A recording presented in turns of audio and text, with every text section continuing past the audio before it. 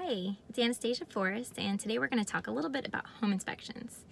If you go under contract to purchase a home, your realtor is going to recommend that you have a home inspection performed to get an idea of the state of the house and highlight any serious problems or safety issues. By law, a home inspection in Florida requires that a licensed Florida home inspector looks at the eight major systems of the home.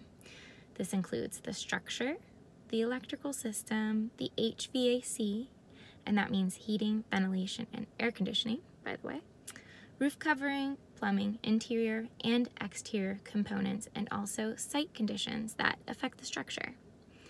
Another type of inspection that is typically done is a WDO inspection.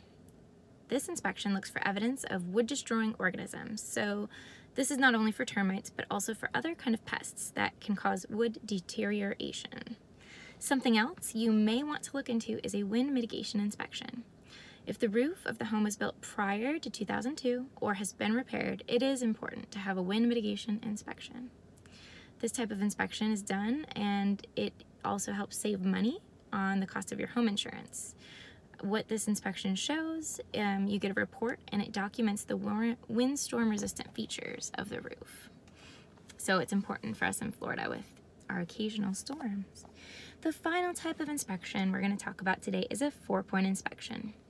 If the home you're buying is more than 30 years old, you're going to need a four-point inspection for insurance purposes. A four-point inspection focuses on just four areas of the home. The HVAC, electrical wires and panels, the plumbing, and the roof.